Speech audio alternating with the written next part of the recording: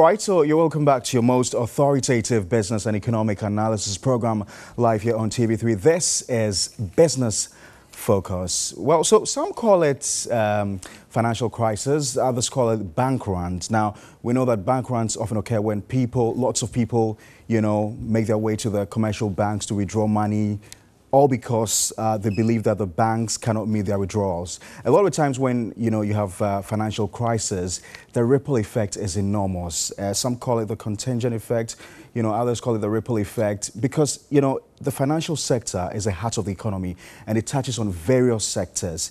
Tonight, what we're seeking to do is to find out how the Ghana's banking crisis has impacted on a number of you know sectors within the economy. We know, for instance, that when uh, you know there's um, a bank crisis and a lot of people withdraw their monies from the banks, the, the banks become illiquid. And so what happens often is that the banks are unable to lend to the private sector. Now, once they're unable to lend to the private sector, it means that there's little investment. Now, when there's little investment, it affects economic activity and affects economic growth. Now, once economic growth is affected, there's high, you know, unemployment. And once there's high unemployment, effectively, uh, government, you know, in, uh, in terms of uh, taxes to government is also reduced. Once tax to government is reduced, there's little investor confidence and essentially the economy is affected. Tonight, I've got in the studio Christopher Boadu Mensah. He's the Chief Executive Officer of Serene Insurance. He knows a lot about the insurance industry and want to find out how this banking crisis has impacted on the financial sector. Later on, we'll also be, uh, try and touch base with Benjamin Bright Aka. He's the General Manager of UMB Stock Brokers because we also know that over the period, um, you know, financial stocks or stocks in general have been affected, they've been impacted uh, generally. So, uh, Christopher, thank you very much for your time and good to have you in the studio. Tell us generally about the insurance sector. We know that um, uh, you also have to meet a minimum capital by 2020, uh, which is, um, you know, a rule that's just been set by the, um, is it the NIC? It's actually 2021. 2021. Tell me yeah. about it. okay, thank you very much and good evening to your viewers. All right. And thank you once again for having me in your studio. The minimum capital, I think the NIC has communicated. Right. The media has picked it up. Right. And we know that we need to meet the minimum capital of 50 million Ghana cedis. Right. Uh, and they're in categories, I know. Yeah. In yeah. terms of the amounts that insurance companies, so we've got insurance companies, we've got the brokers. insurance and the yeah. brokers, yes. Right. Uh, we as an insurance company, we are supposed to provide 50 million Ghana cedis from the 15 million we have now. Currently. Yeah, and we are supposed to do this by June 2021. Mm. What's been the uh, general response from the industry? Has it been all embracing? Yes, yes or no, because I know I really don't want to talk about the mm. minimum capital. Mm. The reason being the commission has communicated. GIA, that's the Ghana Insurance Association, is still having a conversation with the commission. Mm. So I really don't want to talk mm. about the don't, minimum don't, capital. Don't, mind. As uh, it is, the insurance companies are supposed to provide 50 million Ghana cedis. Mm. Reinsurance are to do 125 the brokers are to provide about a million, no, 500,000, mm. and the reinsurance brokers are to provide a million Ghana cedis. Mm. So that's how it stands now. Okay, and you don't want to make any further comments I really don't want to talk okay, about that's fair. capital. Uh, let's talk about the performance of the insurance industry uh, ever since the financial um, how do you call it? The central bank called it the the cleansing up of, mm -hmm. of. Ghana's uh, financial sector. What has been the response from the um, insurance industry? I think it has it's, it's been good so far because when you look at our total premium income from 2016 to now, it keep on increasing. In 2016, the whole industry was about 2 billion. In 2017, it was about 2.4 billion in terms of premium income. And 2018, it's just a little under 3 billion Ghana cedis. Mm. So, so far you can see that there's a growth. When you look at 2017 and now, 2017 there was industry, industry growth of about 26% and 2018 is about 21%. And you can see that consistently the industry is growing somehow. Mm. Yeah. We know that insurance companies do a lot of investments. Yeah. And when I talked about the impact of financial crisis, mm. one of the very you know, clear impacts is that financial confidence, you know, obviously comes to an all-time low. And we know that here in Ghana, the central bank has been doing a lot to boost up confidence within the industry and, and, and, and so, so on and so forth. For the insurance industry, how do you manage, you know, in instances where we have, you know, low investor confidence, how do you manage? Yeah, I think, thank you. In the insurance industry, because we are highly regulated, as to how to do your investment, you know, there are directives from usually from the commission as to how we should have our investment with the, these financial institutions and all that. So this banking crisis having effect on an insurance company would depend on the kind of mix of investment we have with one particular institution. Mm, mm. You know, other than that, I don't see any problem with this crisis at the financial sector or the banking sector mm. having effect on insurance company. Mm. But it depends, again, it depends. If Serene Insurance, we will not do that anyway, you know that we invest maybe 10 million Ghana cedis with one bank and the bank is going down, definitely it will affect us somehow because mm. of liquidity. Right. You know, but in terms of liquidity, industry as a general, we've not been affected at, at all. Right. We've not, because we think that we are doing the right investment and we are going by the regulators, directives, and all that. And I don't think if I have 3 million Ghana cedis with a bank, and that bank should go down, it will affect my liquidity position. Mm. It will not have uh, no, it will not have any effect on liquidity at all. Mm. And in general, you know, because like I said, because we are highly regulated, some of these things every month we are sending a report to the uh, regulator and all that, so they know the kind of investment we have with. Uh, these financial institutions, mm. you know, because the thing is that when you look at our claim history as a per the insurance commission report, we realize that every day that's an average of about 1.1 million Ghana cedis in terms of claims. And if our liquidity position is not strong, we will not be able to meet that kind of claims coming on board. Because I guess a lot of the times what happens is that, yeah. you know, once, you know, these banks make investments mm -hmm. and people come withdrawing their funds, mm -hmm. then you have lots of investments that are locked up. Yeah. And so you have very little free money to give out to people. And that's what causes the, the liquidity crunch within the system. I know. Mm. But what I'm trying to say here is that mm. We are not trying to, because I, for instance, I will not invest, let's say, 5 million, 10 million with one bank. Okay. You know, you spread. You spread the risk. Okay. Because we are risk managers, mm. we make sure that everything that we, we calculate the risk, we, we assess the position of every financial institution. We right. spread the risk. So if one bank is going down, it doesn't mean necessarily it will affect us. Right. You know, right. but if we do the unthinkable thing, mm. and then maybe we put all our money in one particular bank or right. something, and the bank go down, then definitely that will bring some liquidity issues. Right. You know, right. that will bring some liquidity. What it therefore means is that you have a lock-in fund somewhere you are not able to assess it. Right. There's a claim that you need to meet. Right. You know, there are other management expenses that, that will bring a difficulties. Right. But at its stand as industry, mm. we don't have that kind of difficulties. Absolutely. Yeah, so uh, Christopher Boadu Mensah, CEO yeah. of Serene uh, Insurance. Meanwhile, the Ghana Composite Index, uh, we're told, has lost 11% uh, since January and over 70% of traded values year on year. Now, this according to a report by the Ghana Stock Exchange. In the first two quarters, quarters of 2019, the Ghana Stock Exchange reportedly continued to record the same bearish performance that it suffered from in 2018. Well, this has been attributed to the rather uh, drastic financial sector cleanup, which is set to be giving investors cold feet. Let's take a listen to the Managing Director of the Ghana Stock Exchange, Ekow Afedzie.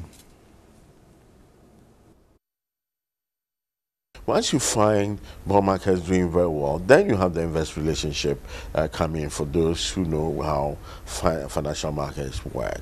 Um, for, for the equity side or share side, we've had prices of some of the companies going down, others have gone up. So we have the index is about 6% for the financial stocks uh, index, which is negative, then one negative 10 for um, the uh, the other, the entire market. But markets go up and or down, depending on what happens to the economy, what happens to um, the, the, company itself, what happens to the appetite of investors as to whether to buy or not. So when you cast your mind uh, to two years back, this market went up by 52%. And most people didn't look at it. Uh, uh, so you see markets go up and down. I can assure you that with the economy improving, inflation still below 10%, we're going to see the market bounce back.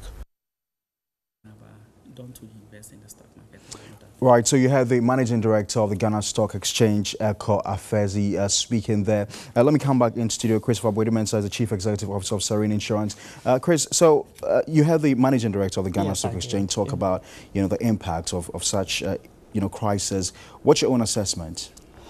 Well, as an insurance company, we also do invest on the stock market because we are allowed to actually also invest on the stock market, buy stocks and other things.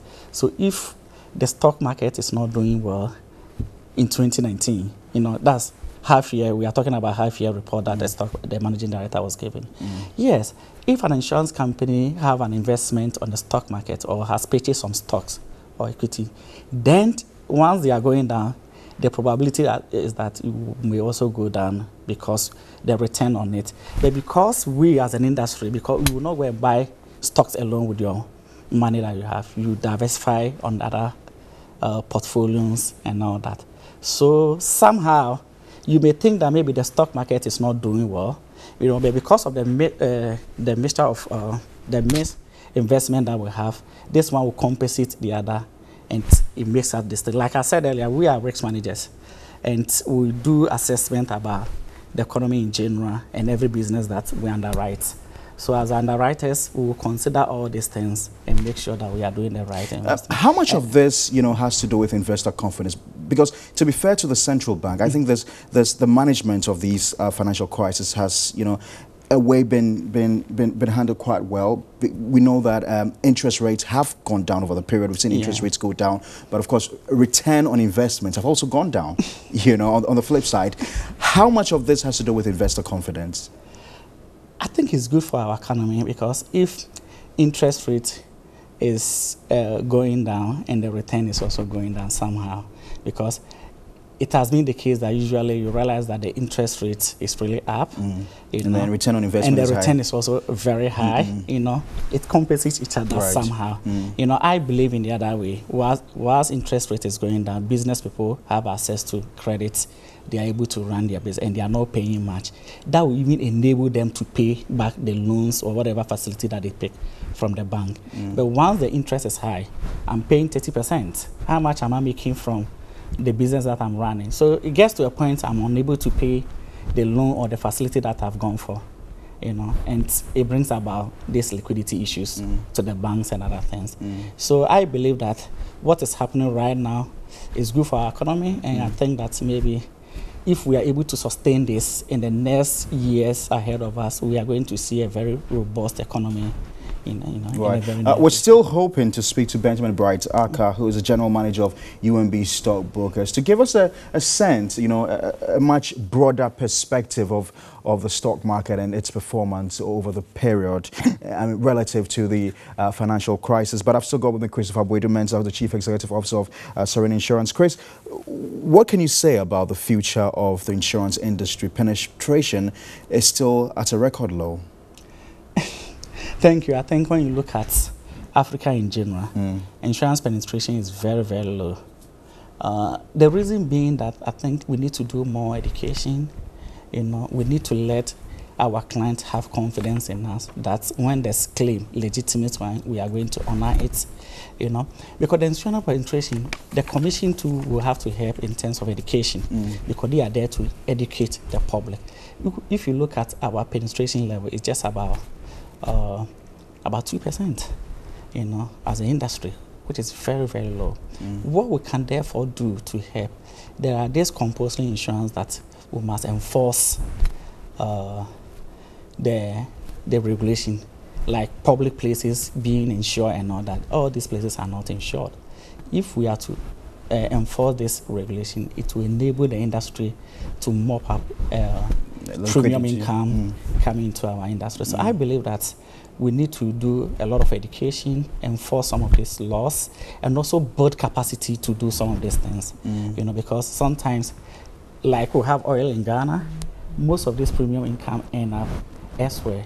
I agree that yes, insurance will spread the risk and it doesn't matter. and on that, on that, point, I'll come back to you to ask a very critical question, yeah. a question that probably you were hiding uh, from uh, when we started this program. Uh, let's take a listen to uh, research analyst with First Bank, Edinam Ametefe, who attributes the situation to uh, investors essentially cashing out, you know, from the system.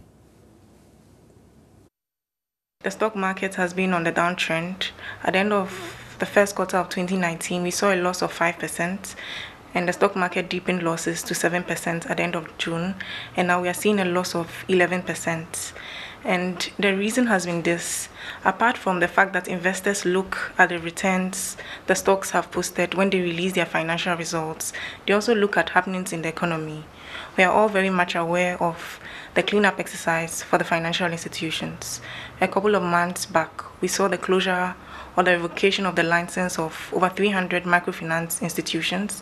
And two weeks ago, we saw the revocation of the license of 23 savings and loans companies. So investors are looking at all these developments and is affecting their sentiments.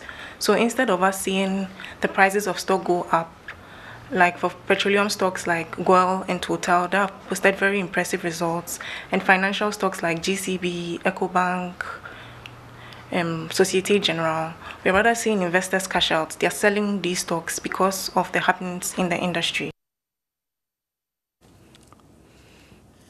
All right, so uh, you heard uh, Edinam um, Ametefe there. So obviously experts are worried about the impact of the trend on the general health of the economy. Um, let me get back in studio and, and, and, and interact more with Chris. Chris, uh, you had, um, you know, at, uh, Edinam and what she said about Uh, what do you make of of, five. yeah. Yeah, like I said earlier, uh, yeah, it's expected, of course, once there's there's a run on some of the banks, you know, and banks are being closed down and all that, the investors' confidence will definitely go down. Mm. As they don't know what to do. People may have the money, where do we invest? Because they are not even sure about, and they are not experts to know mm. where, what to do and all that. So definitely, it will have some impact in, in the general economy. You think this is going to generally affect the savings culture the more? Yeah, I think so. People will be very careful as to which institution to actually keep their monies and all that. People will be careful. And I hope you'll be careful as well. Absolutely. Yeah. Um, just before we went uh, on that, to take that clip, you, you talked about um, the Capacity. capacity. and uh, one of the difficulties for people who've, who've studied the insurance industry, you know, with this latest um, uh, capitali- was a recapitalization, Recapitalization. by the NIC is that, listen, when you subject all insurance companies to this strict minimum capital requirement, what we're going to see is that a lot of the local indigenous companies will be wiped out and our insurance industry will be overtaken or be taken over by The foreign the foreign firms. You know, do you see this this also emanating?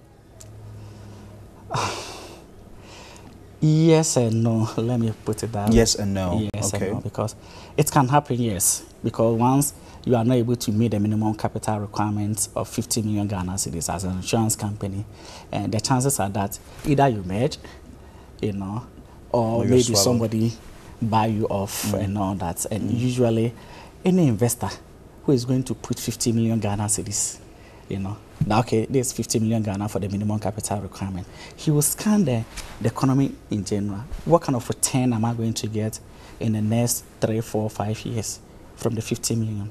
Is it does it worth it for me to do this in an insurance industry or there are other opportunities that I can exploit? You know, investors will always look at all these things before making a decision. Yeah, elsewhere, the minimum capital of 50 million. What are the minimum capital for other uh, uh, countries close to us? Is it the same 10 million Ghana cedis? 10 million dollars. If you convert the 50 million, relatively, it's just about 10 million dollars. You know, would people be willing to invest that kind of money? These are the questions. What do you think? I think yes, it's good. Uh, I don't have problem with it. I, I, I cannot have problem with what the commission is saying per their own analysis and all that. But one thing will always come to play: would investors be willing to do this kind of investment? You know, because I, for one, maybe I, my board will agree that okay, these are the things. You know, can other company also say the same? You know, are the shareholders willing to And you've got to submit a plan of capitalization to the NIC yeah, as well. yeah, that was about that was that was to happen last Friday. I, I think I don't know the position of other insurance companies, But you have done it. we yours. have done it. Yeah. Mm. Yeah. Does it look good? Well, yes, of course, it looked good. It looked very good. Mm. It was interesting that, you know, again, the NIC said you cannot use any fiscal assets to, to, to, to help you to meet up that capital. yeah, Uh, what, do you, what do you say to that? I don't have any difficulties with that because we are in business.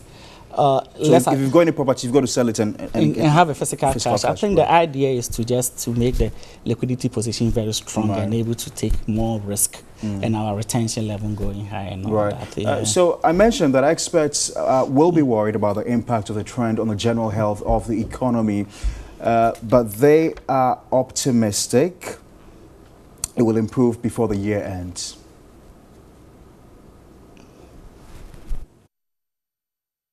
The reason why I'm a bit optimistic is that uh, if you look at the share prices, you know, uh, what we call the prices are share prices are very low at, at the moment. So uh, and also it's important to highlight that all these poor performances that we are seeing uh, on the stock market is not driven by fundamentals. Uh, to be honest, uh, I can tell you that uh, companies' profitabilities are actually increasing if you compare to last year. So we expected that uh, the stock market will respond to this improved profitability of the listed companies. But that has not been the case so far. But that does not also mean that it can't happen. It can't happen. Actually, we are looking forward to more positive um, uh, earnings results in Q3 and also in Q4. So, I mean, I think that looking at where share prices are, some investors may like to take advantage of the lower prices, and that can possibly push the stock prices up and then uh, uh, push the entire market up. All right, so head of uh, head of research at DataBank, Alex Boahen, uh, states in his position there. Uh, let's quickly wrap up uh, with Christopher Boadu-Mensah, the Chief Executive Officer of Serene Insurance. Chris, what do you think the the next um, the last quarter of the year will portend for the industry generally? The last quarter. The last the quarter year. of the year. Yeah, insurance is a season. What actually happened is that the first quarter, almost the first two quarter, will make a lot of revenue. The third quarter usually is slow from time immemorial. And mm. the last quarter, November, December, is okay. So we expect that we will see some growth in maybe the last quarter, especially November and December. Mm. We expect to do a lot of renewals and all that. So mm. I'm speaking as a in the non-life industry, not a life company. All right. Yeah. Thank you very much, uh, Christopher Boadu-Mensah is the Chief Executive Officer of Serene Insurance, uh, helping us to do some analysis on the insurance industry and how uh, it's it's been impacted, uh, if you like, uh, by the uh, financial crisis that started somewhere in was, was I think it was like 2015. What? Yeah. We, we, actually had the, the cleansing up start two years ago, but the whole crisis began somewhere in 2015, uh, thereabout. Yeah. Uh, if you read the Bank of Ghana's report on the financial sector, I'm sure you'd, you'd know that. So uh, we're going to wrap up with uh, uh, Christopher. When we return, we still got business trends. We've got tech today, and we've got the trader slots. Stay tuned.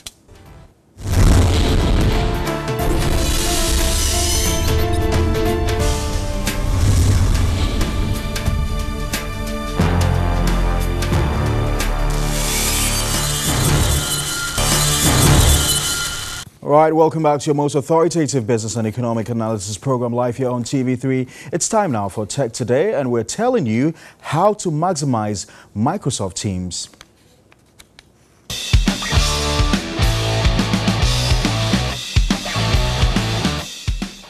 Communication has become very important for any business. You can't be in a business and not converse. And because of that, and the advent of messaging platforms, a lot of us have resorted to using WhatsApp, or Messenger or Telegram or anything to chat in companies. But those of us that don't want to do that, we do status meetings and things like that, which takes a long time. Sometimes, if the person is working remote, they still have to move from their house all the way and get to the office, come and have businesses. But this is the tech age, and you don't need to move people all the way from your homes to come and have businesses. If you want to have a business conversation and not get them distracted in their WhatsApp or Telegram accounts, then there's something more important you need to move on to, right? So, Today on Tech Today, I want to talk about Microsoft Teams. So Microsoft Teams is sort of this unified communications platform that is good for businesses that would enable you to add all your stuff in there. The thing, the good thing is you can you can chat um, via text, you can chat via video, you can even send them files and everything, all of it. They're very professional because it is a Microsoft product. Obviously, you have Microsoft Office also in, integrated into the system. So all you need to do to have Microsoft Teams is to visit teams.microsoft.com and download the desktop version of the app onto your PC or your Mac and then install it. Then download the mobile app as well on your Android or your iOS and then install. Now, once that is done, you create your company in there and then you can just start adding your teams. This would enable anybody who works remote to also be able to participate officially in meetings or anything that you want to talk about. This is how we round up on Tech today. My name is Kwame. See you again in the next one.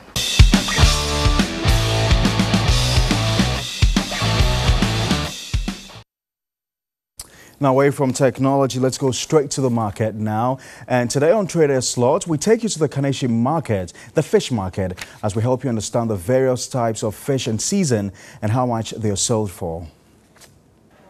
Hello there. Welcome to another edition of Traders Slots on Business Focus. Today, we are here at the Kaneshie Fish Market to find out which fish is in season. Soy peji no no na ni di omo wo lo ye no. Sani benene wa chile, wana chile oda ada nche pepako. The Homowo season brings with a lot of herring, and so that is most in season. Ni di amani. No juno no ke you afi.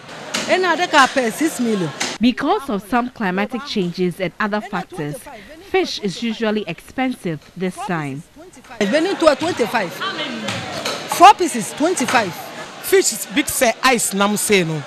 When no ebetumi asi ho. You can refrigerate, dry or fry depending on how long you want to keep them. Go ahead and add some protein to your food. That will be all for now. See you next week. Thanks very much, Grace Hamwasari, for the trader slot. Up next is the mover segment. Hello and welcome to today's mover segment with me, Nuang Falong. Our mover today fell in love with her grandmother's vast collection of Krobo beads when she was just a child. It would later become her inspiration to establish Qualicore Accessories, a fashion brand that tries to bridge the gap between locally made Krobo beads and high fashion. I went into beads because it was accessible and Krobo, easy for me to, you know, speak, speak their language, talk to the people, understand the heritage of it. Qualicore explains some of the challenges faced have been the lack of funding for fashion projects, low local patronage, and an unfriendly tax system. Now, in the um, entrepreneurial space, there are lots of agri projects and science projects, and that's where the main focus is.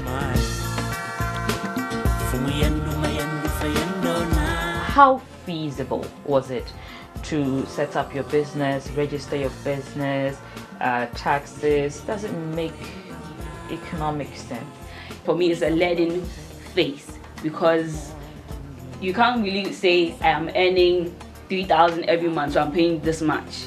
It's something that is, is, is going to be worked on. So, as a startup, I think one, there should be a lot of education on how startups should or how taxes should apply to certain types of startups because although it's a startup, each everyone is unique. Sometimes the information you get is just lump sum. But I think in the future, if we really want to grow the um, entrepreneurial economy, we should really break it down into segments because or into categories because each um, category has its own peculiarities and like it works differently. So you think the GRA should be innovative in approaching taxation I think, I think, businesses? I, yes, I think they're already being innovative, but sometimes cascading the information down mm. properly is where the challenge is. The brand sources 80% of its beads from the Krobo community as it aims to ensure the cycle of wealth is maintained locally. Odumase Krobo, um, Koforidua bead market, and also I have a a bead maker who turns my raw material, which is the glass, into beads for me. So there are certain words that um, I think something like this, for instance, these oranges and these black bits, he would have produced them specifically for my design. We are actually helping the economy in two ways. One, we are working with people in the villages who wouldn't normally have access. Materials used in production are eco-friendly to protect the environment um, I'm also collecting waste first Saturday of the month. You can get me at a fair in town and you can bring us your old wine bottles and would gladly accept them. Currently, I'm part of the Ghana Climate Innovation Center. When you started your business, for example, how much did you need to inject into the business to get it to that level. My money was 40 cedis. I was playing my mom's beads at home and she got frustrated with me one day. She was like, take your money and let's go to Koforidua bead market. And this was 2008. Fast forward 2015, 16, when I really wanted to push more capital in it. About 5,000 went in in between 2015 2016 because at that point you had to buy more materials branding social media you know mm. understanding the the terrain properly but initial capital was 40 ghana cedis and now when you look back and you compare the returns to uh, your capital that you put in, how is it turnover? Does it does it have you been able to break even and make profit? Oh yes, yeah. After um, almost three years, definitely I've been able to um, break even and make profits. But it's running a startup is a continuous investment. Let's take you back to 2008 before you started. If you had a chance to think of going into business, would you still choose beading? Yes. So that's how we conclude the mover segment today with me in my Coleco accessories. Join us again next week. Thank you for joining us. All right, thank you very much, Noam Fallon, for the mover segment. Let's quickly do some, you know, uh, you know, preview of the uh, stock market as well as commodities market and also the exchange rates. Clearly, as you, as you can see from the board, the currency, uh, the US dollar is buying for 5.27 and selling at 5.28. The British pound is also buying at 6.43 and selling at uh, 6.43 as well. Um, let's quickly return to look at the commodities market.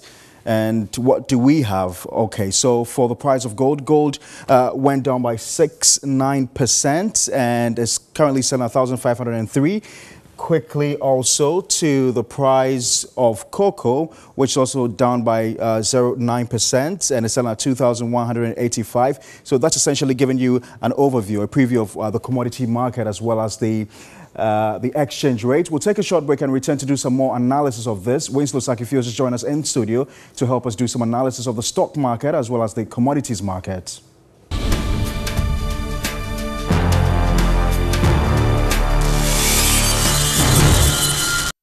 All right, welcome back to your most authoritative business and economic analysis program. This is Business Focus live here on TV3. I've just been joined in studio by Winslow Sakifio. He is uh, with First Bank Financial Services. Winslow, uh, quickly, we just did um, a preview of the stock market as well as the commodities market. Let's focus on the commodities market. Just briefly tell us what accounted for the marginal changes in the commodities in terms of the pricing. Okay, so for crude, uh, you know America has eased some of the pressure on uh, Chinese phone manufacturer Huawei. So right. Uh, it brought a bit of relief on the market and it sort of boosted the price of crude oil because uh, when the sanctions were coming in, the outlook for the global market was very bearish. Now it looks like things are improving a bit, so demand for crude is expected to pick up, and that is why we are seeing the price of crude going up. For gold, uh, China has decided to impose tariff on U.S. crude, and it's sort of bringing jitters to the market. So we are seeing gold prices also picking up, and China being the biggest importer of gold, they have reduced the restrictions on gold imports, so we expect demand to, to pick up. Mm. Cocoa is also seeing the same upward trend. You know, the price floors that was agreed on uh, would uh, kick in in October. Absolutely. So as we are getting very close mm. to it, we are seeing the price of cocoa picking up slightly. And we expect it to do so until the floor suddenly kicks in in October. Mm. All right, uh, Winslow, I'm afraid uh, we've got very little time. Uh, we've got to go. Thank you very much, Winslow Sakifio. So um, we will conclude with business trends right here.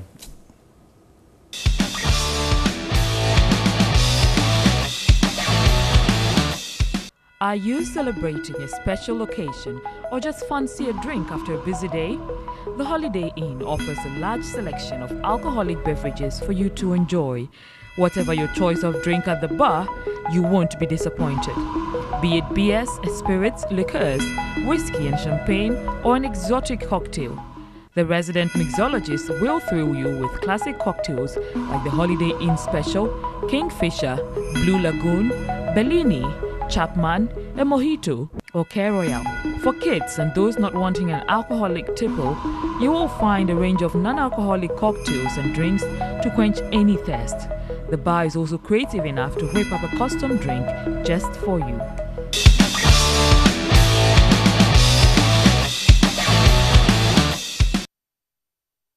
All right, thanks, Noam, for business trends. Uh, let me quickly wrap up with uh, Winslow Sakifio, who is with First Bank Financial Services. Winslow, uh, we, uh, you know, earlier on the show, we talked about the impact of the financial crisis on the um, stock market. You know, briefly before we go, how what is the recovery like? Because clearly there's not been a good performance uh, at the start of the year till now. Yes, we've been in negative zone since we started the Mm. year, and I think the financial crisis is not really helping the situation, even though we are seeing some recoveries on the market. But we expect the negative to continue until there's a clear picture for the investor out there. So it all has to do with investment investor sentiment. Yes, currently it's very bearish, Mm. and I don't think it will change significantly going forward. Mm. So we might close the year still in the negative.